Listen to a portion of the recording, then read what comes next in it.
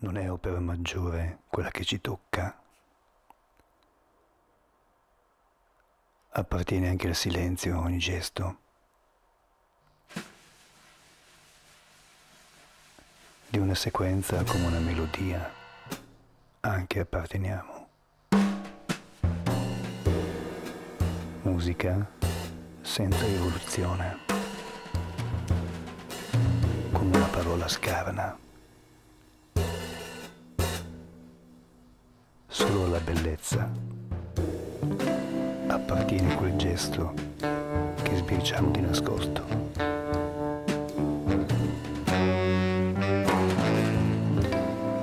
E se io penso ogni rifiuto,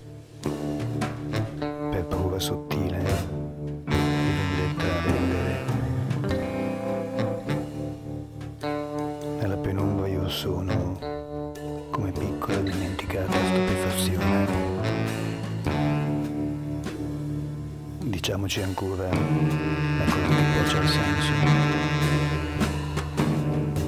Una terribile visione di chiarezza. Come ben sai, non ti servirà.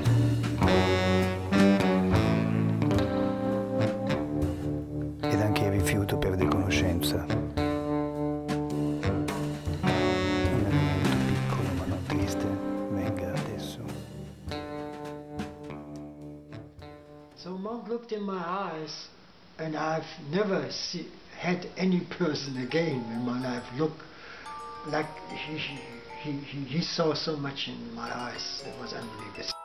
So he asked me after the concert if I could come with Nelly, that was his wife, and him to the. First he wanted to know more about European music. So the first question he had to me was like, who is copying me?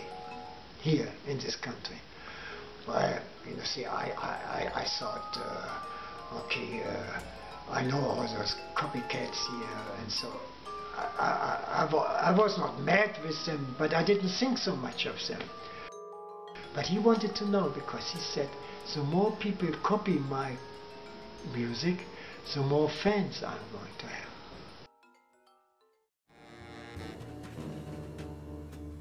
prende intatto come dovere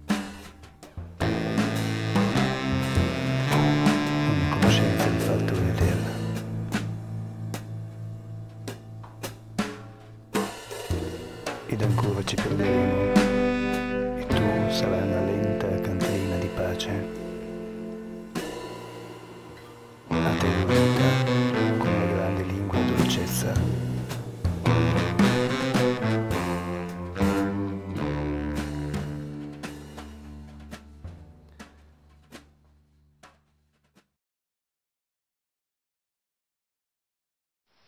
I'm Hollis Taylor. I'm from Portland, Oregon originally. My name is Klaus Kürvers. I'm, I grew up in Essen. It's in the Ruhrgebiet. Okay, my name is Gunter Hampel. Gunter Hampel. I'm born in Germany, in Göttingen, 1936. My name is Axel Dörner. I'm from Cologne. I'm Dave Burrell. I'm a jazz pianist. I'm originally from Middletown, Ohio. That's between Dayton and Cincinnati. My name is Assi Glöde. I organizing uh, improvisation music and jazz since uh, over 35 years. My name years. is Frank Paul Schubert. I'm a saxophone player. I'm living in Berlin. I'm from the western part of Germany, near Cologne. My name is um, Andreas Pichler. I'm a drummer. I'm originally from Austria, from Oh, Innsbruck. my name is Meinrad Kneer. I come from the, a little village in South Germany. Nobody knows that, so it's not worth mentioning it. Gunter, it's a privilege to meet you. This is how you look. Come in. Yes, all the yes. painters, all the the writers. I mean, all all big people have been here in Berlin. When I go, when I sit here, like I can talk here because the spirits are here, right? When I'm in my little town in Göttingen, I have a hard time to find my spirit. But here, I can. I used to play on the street because we didn't have no money in New York. And one day we played, there came all these kids, 15, 16, they came up with their ghetto blasters and wanted to use that spot where we were. And so they looked at our music and we didn't stop because we didn't have enough money yet, so we needed some more cash. So we kept on going. And so they got, you know, they wanted to take the place, but they were so shy, not uh, pushing us away or something. So they started then to move to our improvised music. When I started uh, to know about jazz, I was about uh, eight years old. So World War II was just uh, over, was not even over, was still going on. And my hometown, I'm from Göttingen, was conquered by American soldiers. And on our backyard, my father was a roof maker, so we had a little backyard for all our gears, was occupied by GIs coming there with their trucks. And I was running around, not like today, people with a guitar. I had an accordion with me, eight years old. And so I was playing my folk tunes or whatever I, I, I could. And there happened something in my life which had never happened before. When I passed by this black GI uh, making a fire and cooking him some food, he grabbed his guitar and started to jam with me on my folk tunes because those folk tunes I played were so simple and were almost like those folk tunes you have in the United States because all our European tradition has, has been moved to the United States. So I had my first jam when I was eight years old.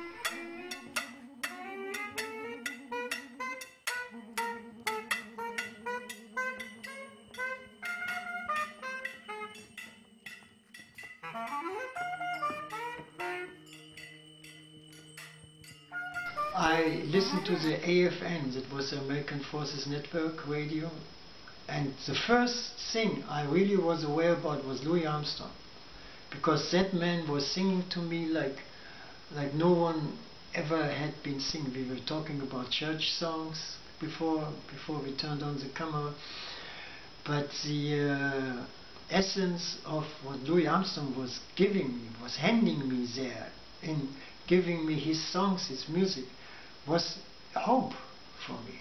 There was hope and glory and that terrible war. If I tell you my experiences of this war, you wouldn't believe it, but we, don't want to go into that now. But this is the way like I would turned onto jazz because I had been experienced nothing but war in my life. Being eight years old, I thought the whole world was on war, on fire. So when I heard Louis Armstrong, there was because I'm a musician. My father um, is a piano was a piano player and roof maker to make his money. but I heard something in there which I had never heard before, and I've been so he turned me on. Louis Armstrong turned me on. I couldn't have gotten a better person to turn me on than Louis, you know. And from that moment on, I, I felt that there was something which I want to go along to. You know, this is this is how, how how my life really started when I was turned on to jazz music. Yeah. So that's my early start.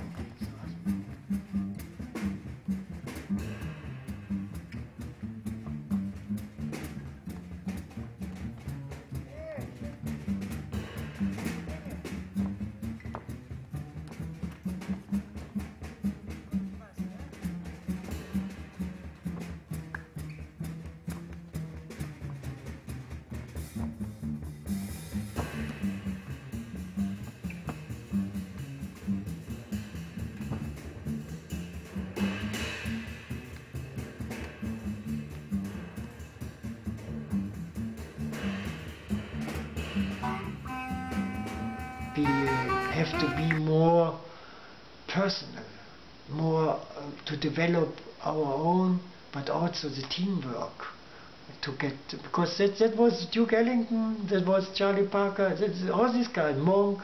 I, I I've met Monk. I've met a lot of people in my life, and I learned from them how you just be yourself.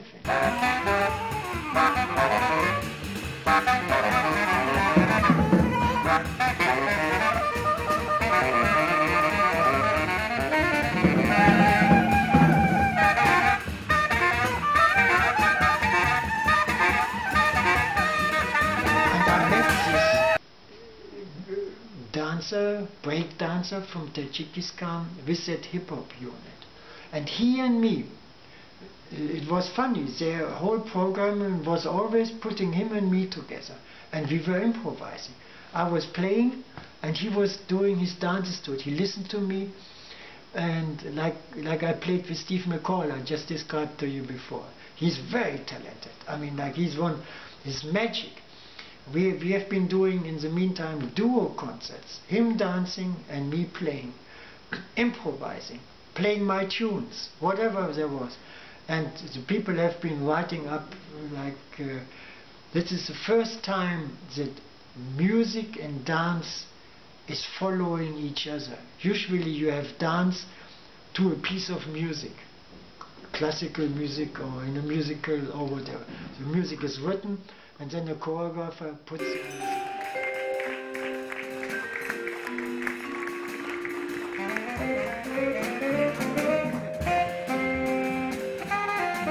And all the improvisations which have been done was always a failure. It never worked because the dancers have to count.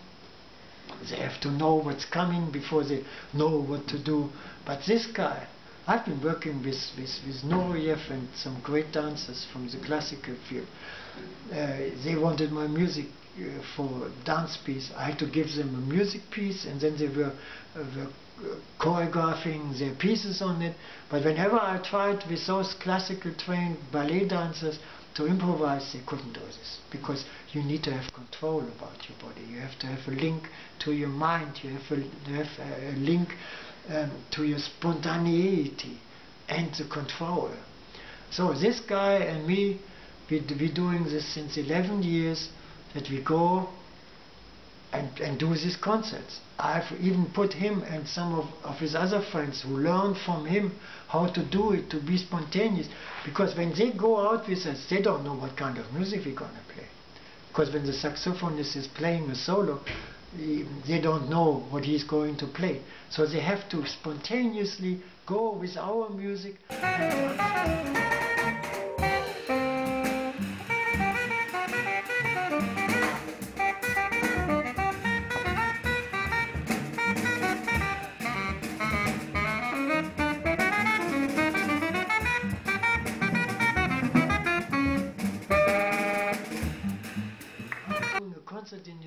Was called The History of Jazz. So uh, the concert was starting New York, all famous musicians with Dixieland and swing and went all through the styles. And I and Perry Robinson, who was in my band at that time, we were invited to join this. This was in one of those churches in New York. And so when they played Dixieland, we didn't wait when the free jazz was on. We played with those Dixieland players. And they were all saying, hey, I thought these guys were free jazz musicians. They cannot play. Yeah, uh, you know, stupid stuff.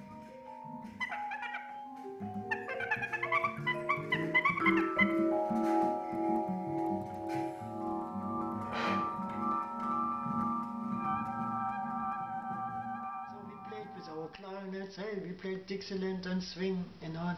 And then when we came more and more to the modern times, then a lot of these people stopped playing. But there was this trombone player, was a very old man, old black man. He kept on playing. His name was J.C. Higginbotham. He played with Louis Armstrong and all stuff. And then when we played the free part, he couldn't stand anymore, so he was sitting on the chair. He was getting off there. Then he said, when you call this free jazz, I've played this all my life, he said. Okay? So that is the real message of jazz, you know, that freedom.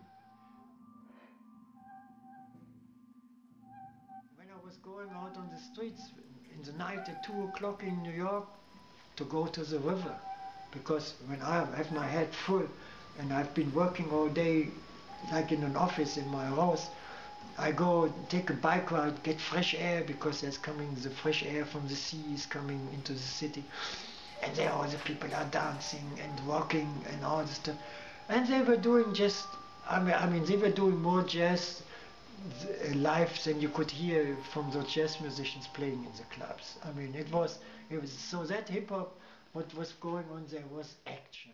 It was really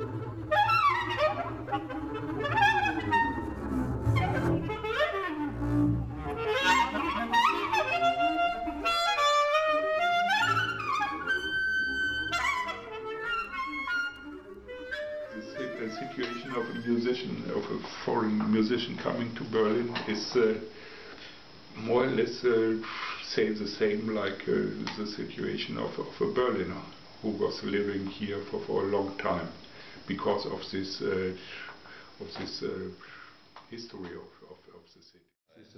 I have been on tour in Europe for the last two weeks. Um, prior to going on tour, right now, this is the uh, the um, 18th of February, 2012. Everybody is a stranger in this place, and everybody, uh, everything has to be uh, think over. there are always uh, possibilities to do it in another way. And on January 30th, before that, I had the opportunity to play with the great percussionist Han Bennink from, from Holland. Cities, uh, you have uh, families living there for the last 500 years and they knew very exactly what to do and how to do what. And uh, here in Berlin, nothing is, everything can be done in another way. On this tour, I was fortunate enough to do duets with Silke Eberhard, who is from Berlin.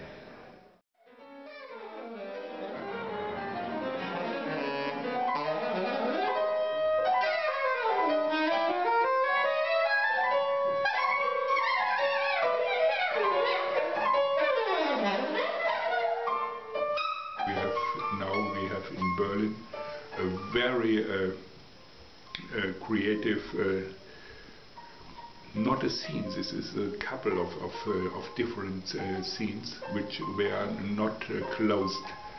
Um, they, they were in connections, and this started in the mid of the 90s.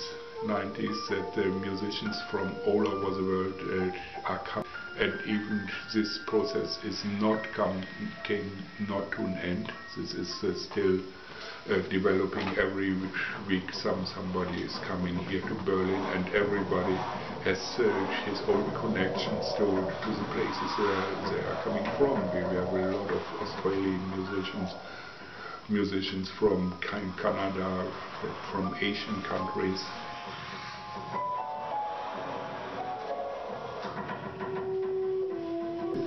This process started in the mid of the 90s, and the first uh, reason was that uh, Berlin was a, a really big city with these two different kinds of history, and it was a cheap place. Here it was possible to to to, to find a room to stay. And uh, also uh, we, have uh, we had a lot of space here in the city not used any longer. So a lot of uh, small venues was very easy to establish a, a venue where you can can play. And uh, musicians done could do it by, by their own. They were not depending on some producers or some uh, pub owners uh, who invited them. They could make their li- life uh, uh, by their own and they could uh, find places and establish places where uh, they could play and try out new things. These uh, music musicians coming here are coming from very different backgrounds.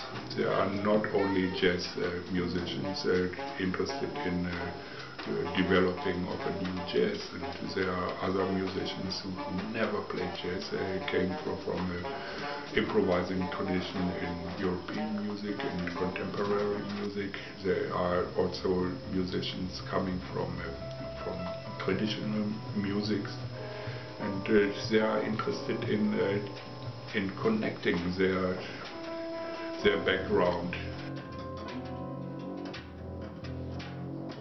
And this is a, a very good model for uh, for for the necessities our uh, society needs now. The world came so close together.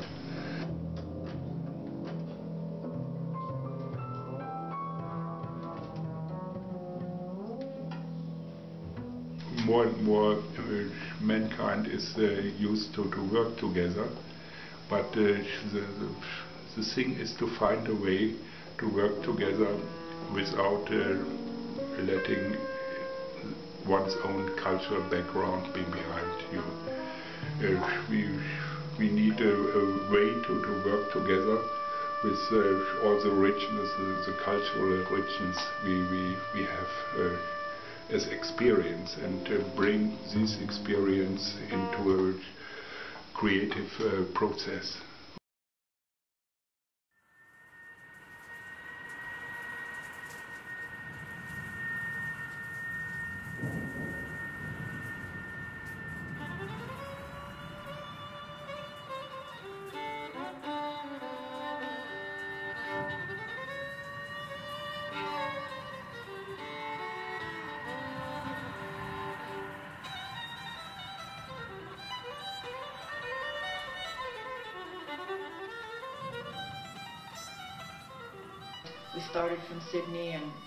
South and right around the continent and then up north, just really circled.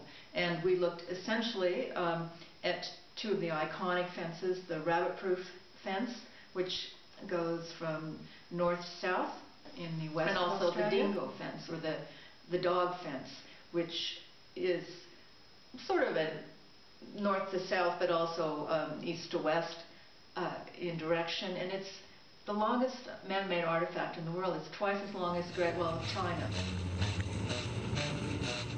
The Hollis and I, my partner and I, we've made a number of trips around the country playing the fences.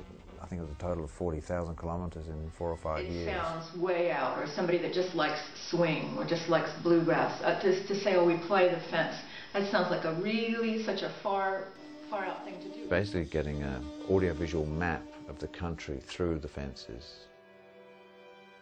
It brings you in direct contact with really the real people of Australia.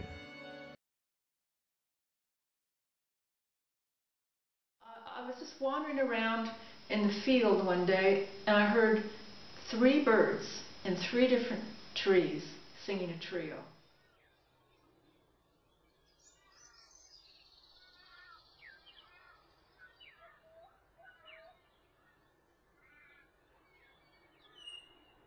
And the, the tone of this bird was so beautiful. It was sort of somewhere between a flute and an organ.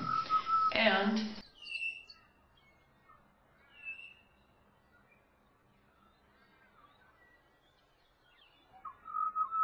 the, the phrasing seemed to be so related to jazz, the rhythms, the sort of ending things on the, on the offbeat. But, ba you know, sort of very hip, a lot of the rhythms.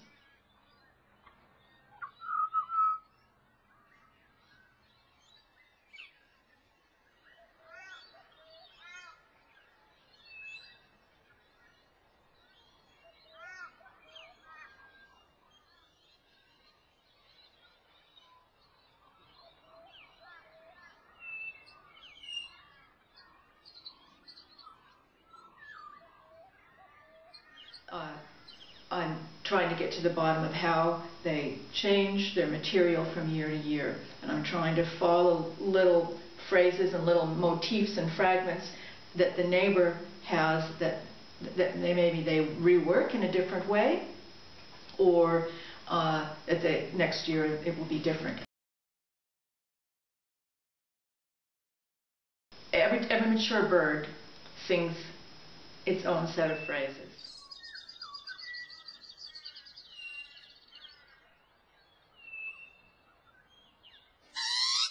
There might be some overlap with a neighbor or there might be none.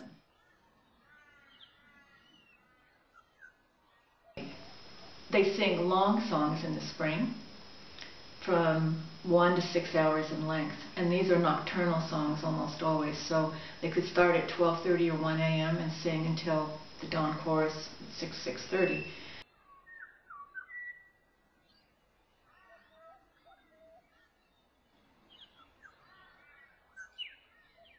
They also sing group songs, and these they do mainly in the autumn. So I go and record them in the autumn as well. And this could be duos, trios, quartets, quintets.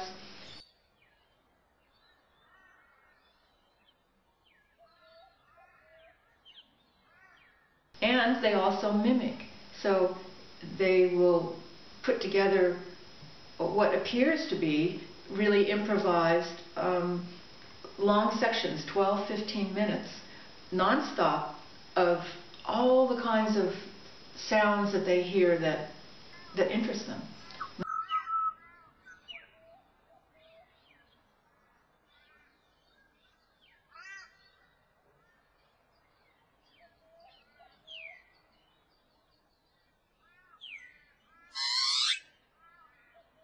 the sound of a horse doing a whinny, a mobile or cell phone ring, ringtone, a uh, car alarm, a dog barking, you name it, they've, they've got it in their, in their mimicry cycles. I was talking about the snap together, snap together beads earlier. So yeah, when you've got that written, you can see, oh, he, he does this part, ba ba but before he goes ba ba ba ba or brr, ba ba you know. So there's little parts that he could, you know, snap together, and you'll see, okay, this is the one thing he does in all hundred of these phrases, but he has other little bits that he can add on.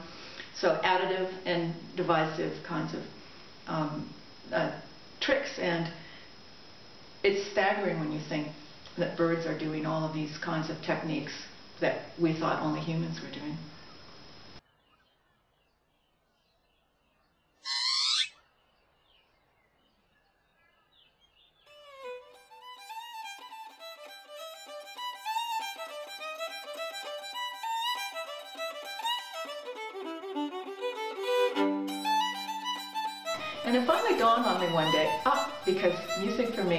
Much more about dance than song.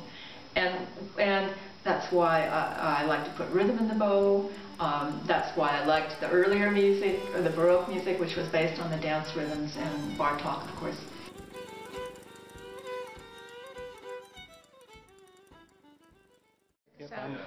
So just wherever you're. Is that for the guests or is that for us? That's yeah, probably for that's the guests. all for the guests. uh, we already drank their we wine. drank their wine.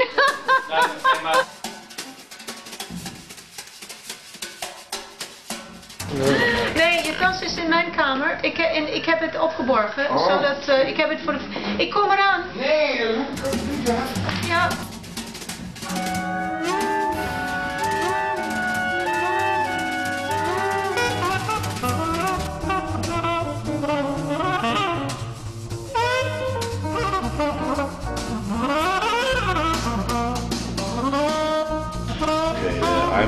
Tobias Delius. I play the tenor sax and the clarinet.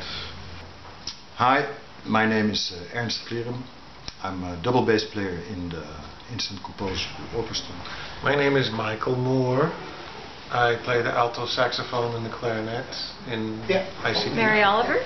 I play violin and viola. My name is Ab Baars.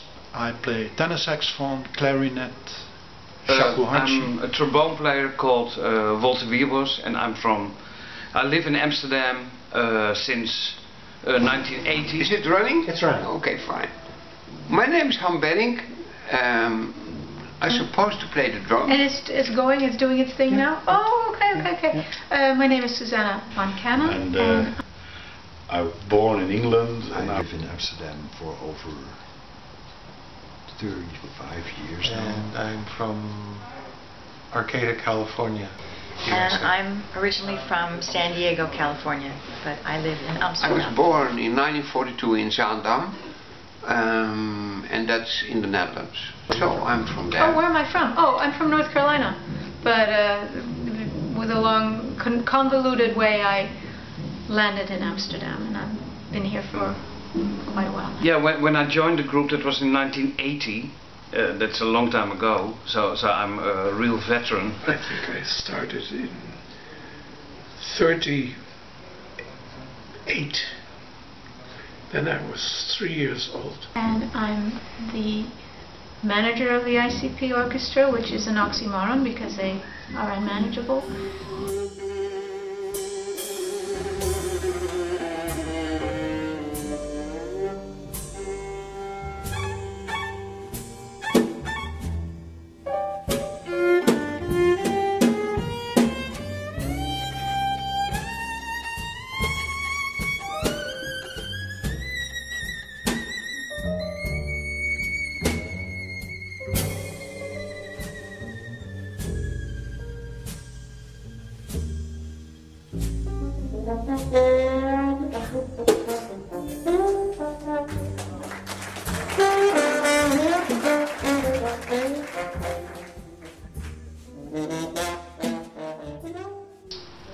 I subbed for various people in the band, and then at a, a certain point, Misha asked me to become like a regular member. Yeah, so like now we're in the.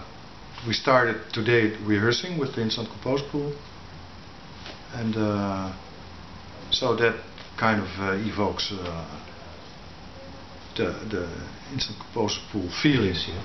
I joined ICP um, in 1982, and one of the first things we did was go to Japan. Um, the other saxophone players in the group at the time were Peter Brötzmann and Kevin Keshavan Maslak. The first uh, tour I went on with ICP was quite exciting for me, of course, because I it was the group that I wanted to play with the One most. of the very first concerts with the ICP, for me, I think it was 85 or 84.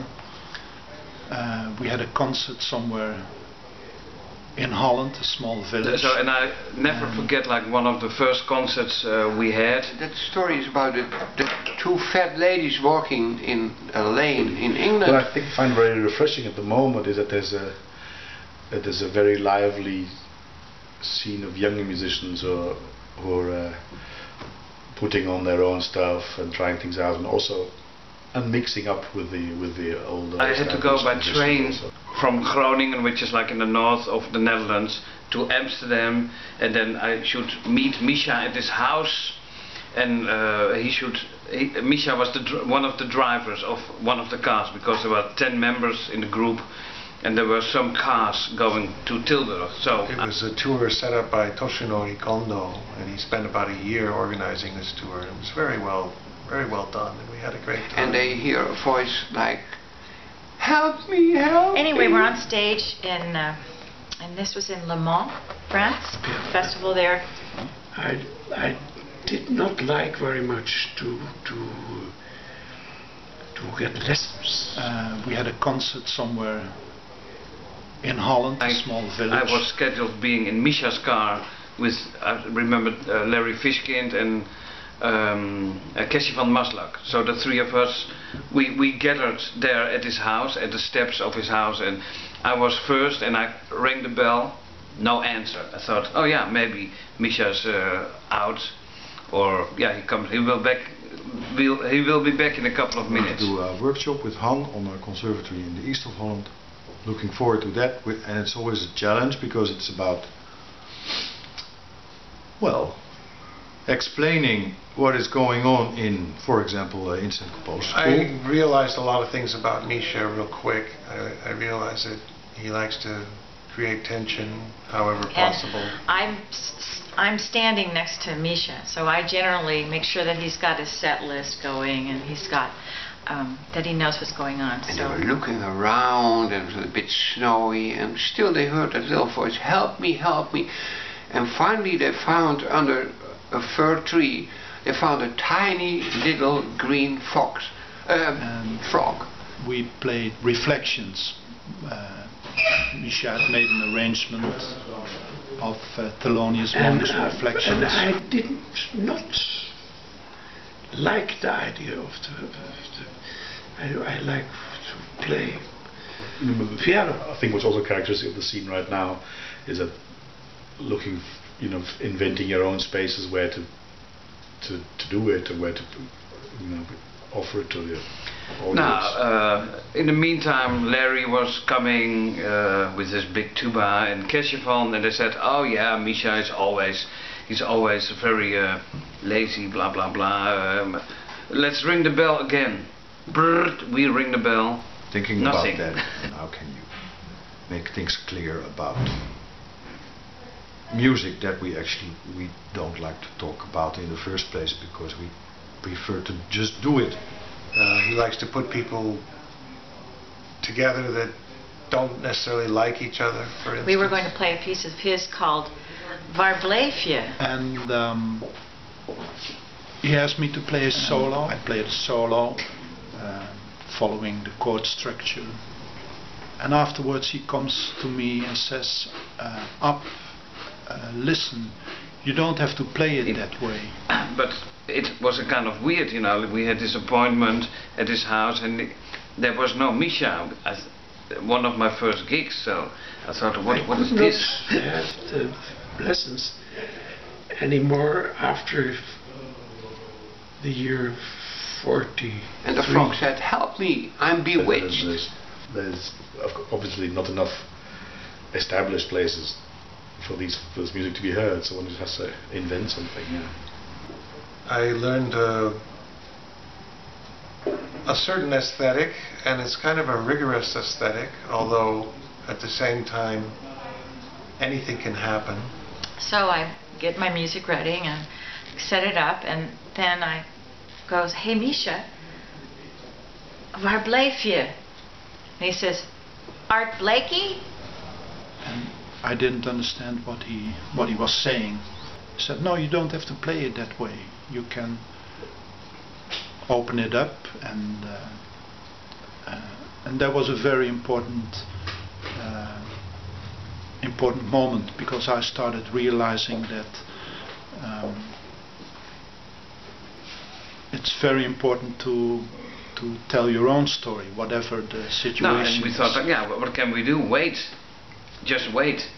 No, like, and, and then like 15 minutes later, we thought, like, no, it's, it's, he should be back now. Like, I'm, I was already waiting an hour, something like that, outside. um, no, Misha. So we tried to ring the bell again, and then the door opened. So it's actually interesting to, to, to because we still play as a group, then to test this material, what is still, what is really like, well, but this is a bit outdated, or it's not outdated, or the, the ideas or the, the, the approach of the music. And after the war, uh, I still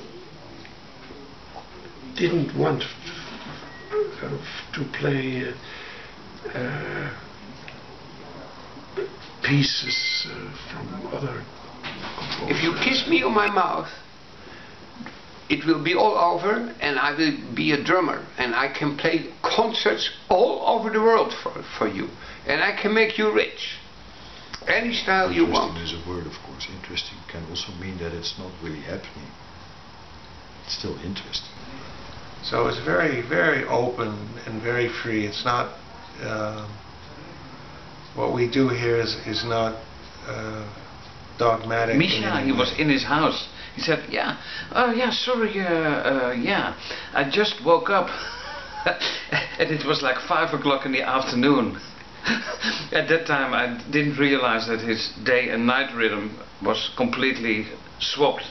Like, you know, he, lived, uh, yeah, uh, from f- 4 or 5 in the afternoon till the next day uh, uh, in, in the early morning. I, I was only interested in, in, uh,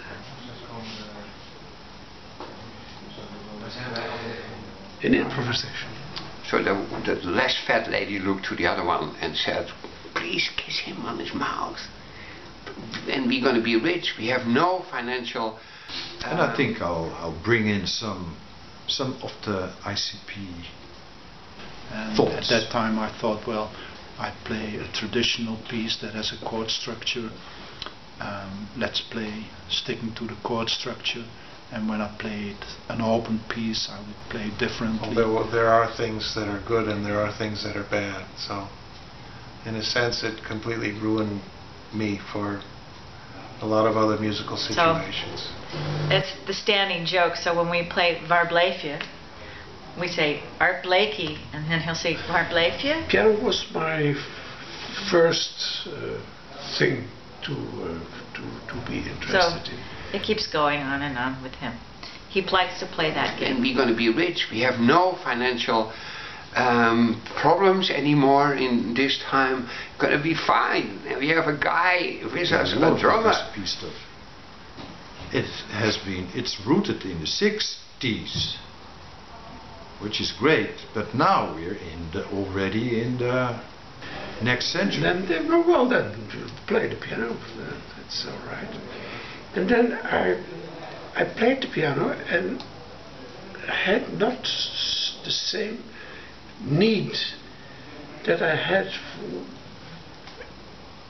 for, my uh, improvisations in in in 42 and 3. So fine, and then yeah, Misha said he said he invited us in his house, like yeah, come in, I'll uh, yeah, I'll make some breakfast for me. So and I, I he had to shower and everything, but it was like late already. I thought like shit, we have to go to the gig in Tilburg, which is was at that time like a two-hour drive. Like, oh, we will be certainly too late. And Misha they didn't worry. He said, oh, relax. Uh, who wants a cup of coffee? Well, that was uh, more or less a little bit forgotten. And that made me aware that it's possible to play freely within a certain structure. The bigger lady looked at her very, very angry, and she said, "You are dumb, aren't you?" The founders, Misha and Han, because they they are in the 60s they had their uh, thing, I suppose. I'm listening to old stuff what they did in the Michel Mengelberg quartet with uh, the late Piet Noordijk as an alto player. Man, that's incredible. Um, yeah, I and yeah, he had done his shower uh, program. No, that was another uh, uh, half an Then hour sh- later. I had only f- interest in playing jazz music. But it is like also a very traditional 50s style quartet. Very inspiring, very good playing of Misha, very sharp, very fresh. And we were thinking like, shit, what's happening? And then he said, yeah, I'm gonna make some breakfast for myself. You want also something? yeah, we said, Misha, we have to go to the gig. Uh, um, yeah, okay. You can't have much and much and much more money with a talking frog than with a jazz drummer. Thank you. You have t- t- you have had ch- choice to play the piano, so so play the piano. And uh, It's a very old English joke I heard once from Chris Lawrence, a bass player. And I used to tell it also uh, after so, or during a solo concert. Like Yeah. so, so you, And then you- it, you- well, you- Michel writes his own pieces, totally different pieces. European flavor pieces, maybe, kind of marches or waltzes or.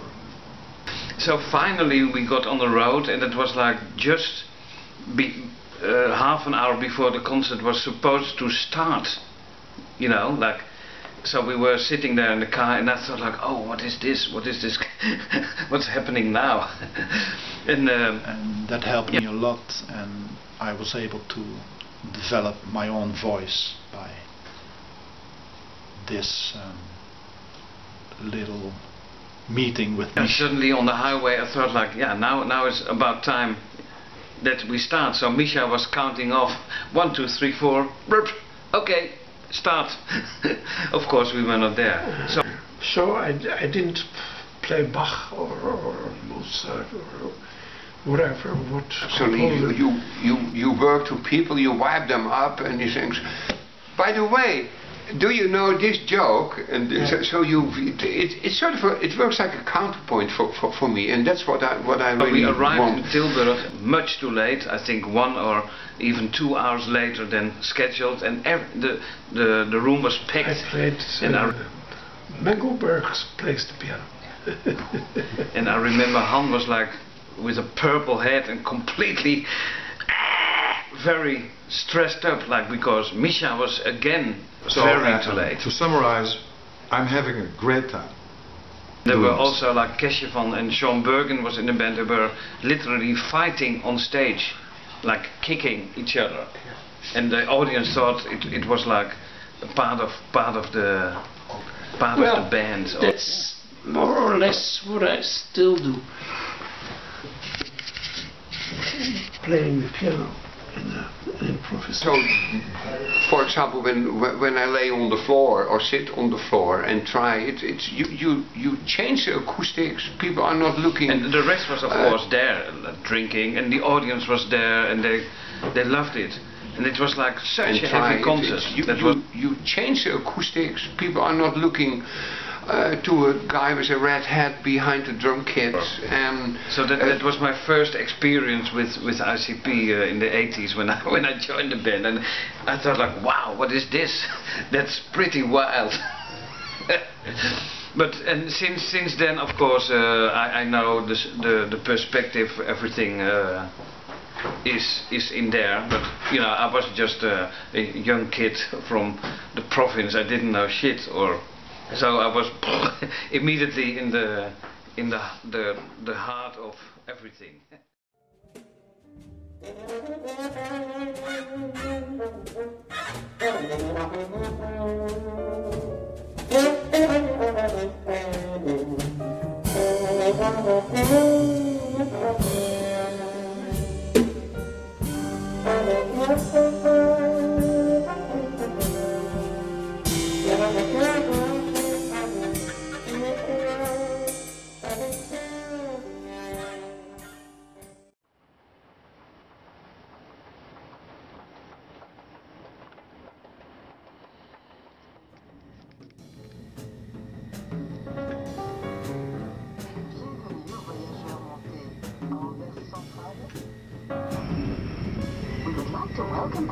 who joined us at Antwerp Central Station on the Thalys train to Paris.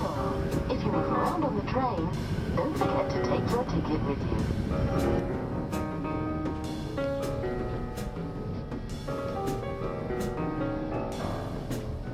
Hello, my name is Roger. Um, my name is uh, Giovanni Barcella. Um, I'm originally from Bruges. I studied almost medicine. I stopped in my fifth year. I play the drums and I come from Italy, from uh, Bergamo. And I started after a few travels and meeting uh, an Australian uh, girl in, in Colombia. I started um, a production company and made a short film. I produced a short film. And I met this guy who had a dream to start a little cafe, Chilean cafe. It didn't, we started it, it didn't work out. But I wanted to keep it. And so music came in, into that. Welcome, David. Thank you. But it's a, it's a long history with uh, Roger, you know. It's just open uh, this this uh, this club uh, after we played three years in the Negocito and the other club. Yeah. Yeah. and we're six, seven years further. And there's a yeah, there's a place now, a better place, and uh, Resistenza with a piano. We invite interesting people from here, local Ghent, but also uh, of the whole of Belgium and, and abroad.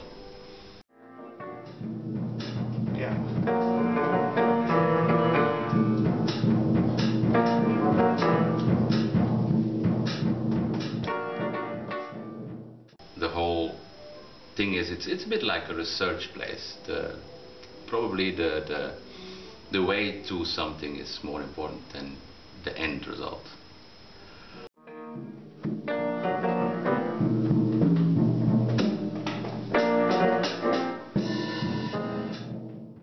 The music has has to be listened to.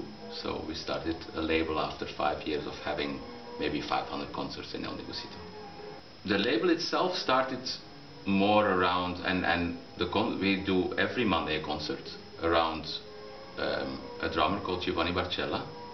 He's a inspirational and really nice musician, but also person. I like the uh, peace and the free. See, this is not the Berlin way, but this is Not Berlin way. yeah, you, you are, you are uh, flashing by Berlin, eh? Yes, I know Berlin, man. There's something that I really always enjoyed in, in music and in especially in, in jazz and improvised uh, is is the story. It's not a it's not trying to to copy somebody else's music or something. It's funny. After, I, I, I, I love uh, Berlin, but uh, like uh, Louis uh, this guy. But uh, after one week in Berlin, uh, I also want to escape. Yeah. I don't know why. well, I used to play the drums in the in the church. Yes, also in Italy, uh, you have to play the drums in church. Beat church celebration uh, in Italy in the late 80s, and uh, I play so loud uh, in the church. Uh, uh, all the priests hate me, you know. I try to play free in the church celebration. but I start to study at Bergamo with um, with a great, a great uh, maestro. His name now is uh, he's, uh, he's dead. Giampiero Prina. Hmm? He tell me about the melody in the drums. Hmm?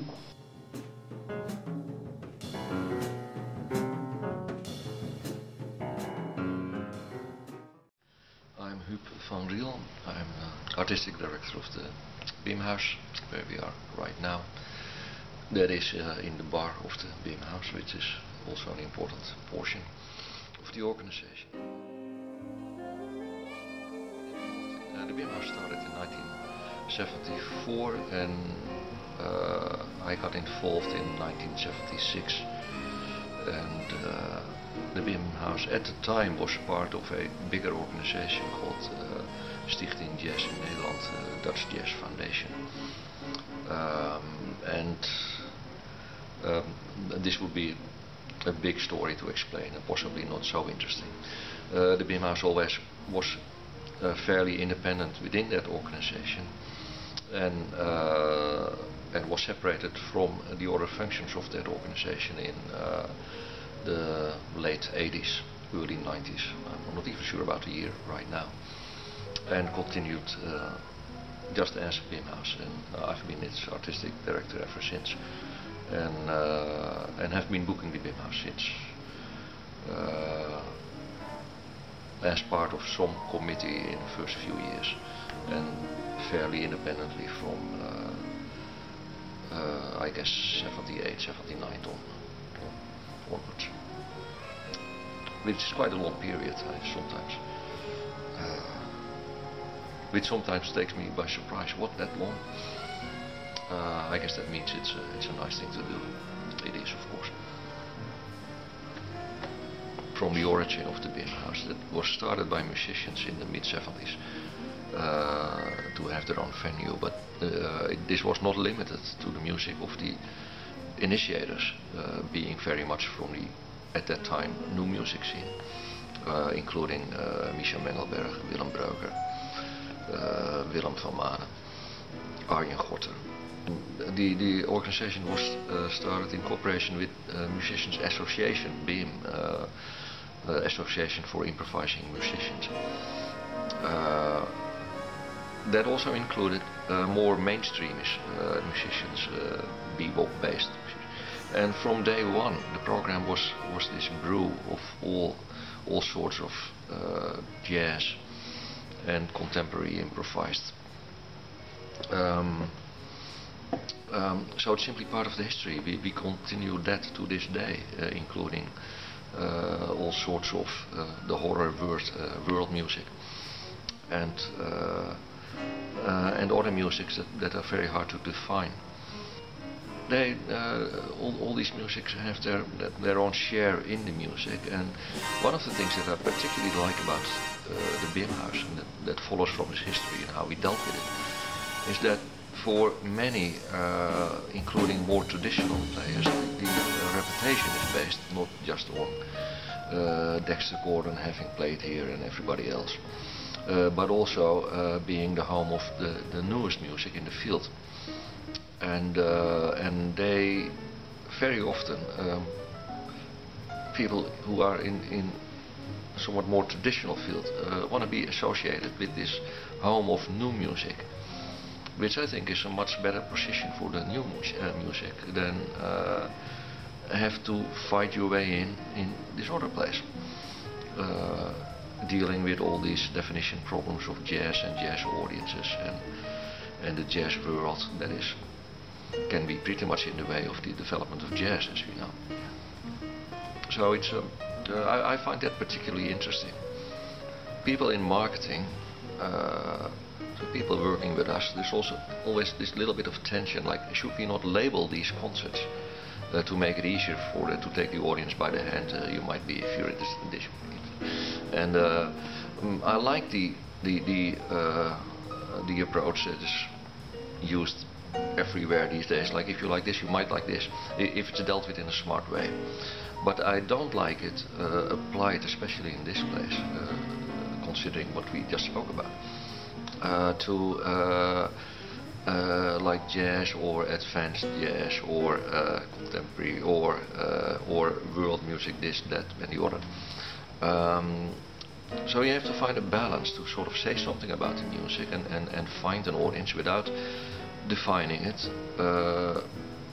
uh, too exactly and exclude uh, everything else from uh, from who you approach with the information. Like this is for you, that's for you. That's horrible. And, and such a contradiction to the nature of what this place is about. And of course audiences in uh, in the Bimhuis can be wildly uh, different from night to night, but there's always a bit of overlap. Yeah.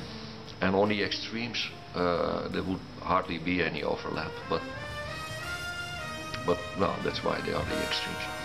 Yeah. Uh, because without without the city support, uh, we would not. Uh, I mean, our own income is huge, but it's uh, to do what we do without this support would be uh, quite impossible actually on this scale. Uh, and another topic, uh, when you look around you in, in this room, the location we have now, the city built this uh, uh, this spot, a venue for Muziekgebouw Bimhuis, to the purpose on on uh, this is the old docklands of Amsterdam, like like in most old harbor towns.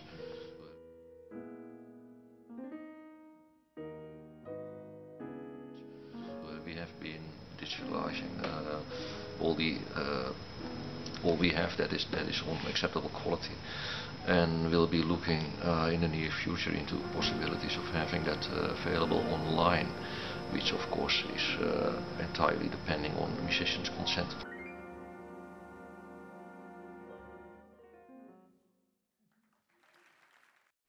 You see, the critics had written in Downbeat and in other magazines that he that he doesn't play all the time. He gets off his piano and lets the other people play.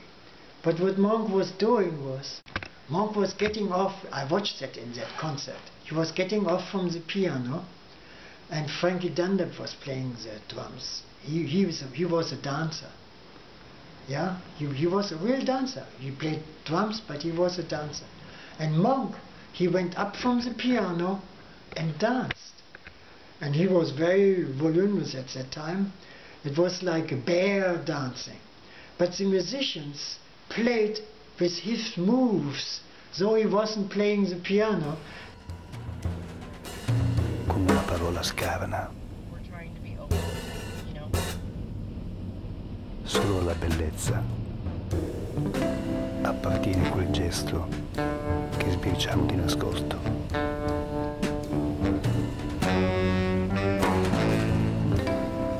E se io penso ogni rifiuto, prova sottile, vendetta a rendere, nella penombra io sono come piccola dimenticata stupefazione. Diciamoci ancora la cosa che piace al senso. Una terribile visione di chiarezza. Come ben sai, considerado.